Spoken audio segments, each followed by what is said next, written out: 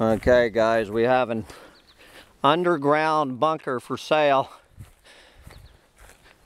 here in paradise. Uh, all right.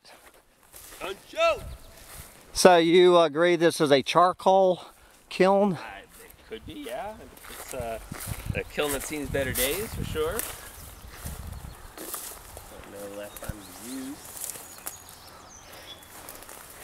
Looks like the door is over here.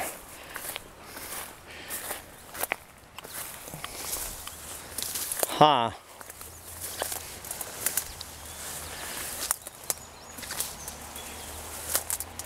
Well, I think the underground bunker has seen its better days.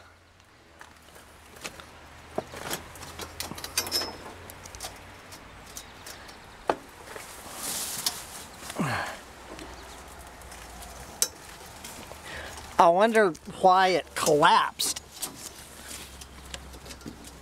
Father time.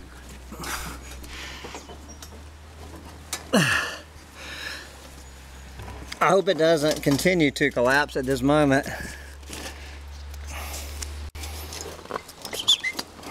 Sancho, is there a bear in here or what?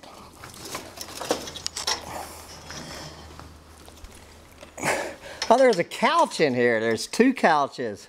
I don't know, dude. It's pretty badass. I'm liking what I'm seeing. They got a couch. They got a hide a bed.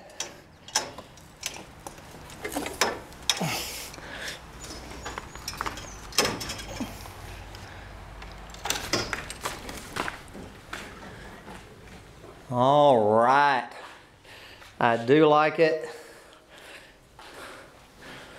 I don't know what the price is on this fine underground bunker.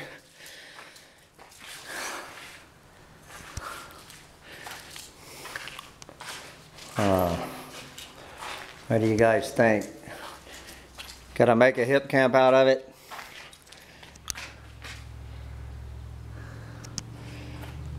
Pretty fucking weird. Okay, little dog. Not sure we're buying the underground bunker. Sancho, where are you already? Come on now. No, not. Come on, Sancho. You don't need to be.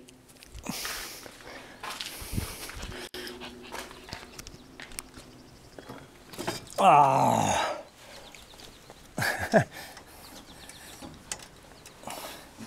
this is the collapse of uh, civilization in progress. It's well furnished. There's a, a couch and a hide bed. Oh yeah? So it's not a it's not a kiln? Or Ah. There's no. I don't see any evidence of smoke on the ceiling or anything. This is a beautiful piece of land. I wish it wasn't right on the road. It's been for sale at least since I got back. I wonder when it was built.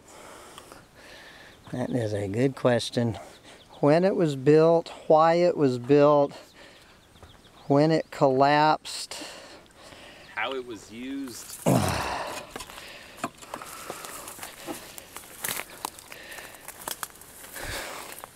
That is so weird, that red Corvette sitting there on the side. yeah, I guess they're not checking on the I guess not.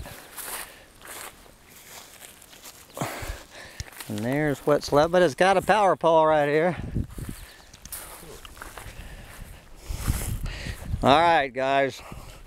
I'm gonna have to call the real estate agent and get more information on this.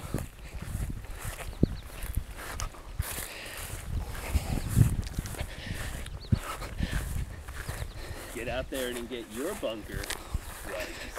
Yes. Buen precio. Para usted, gringo, buen precio. Let's see what the buen precio is. I have no idea how many acres this is or anything else. I wonder if the red Corvette comes with the purchase price. All right.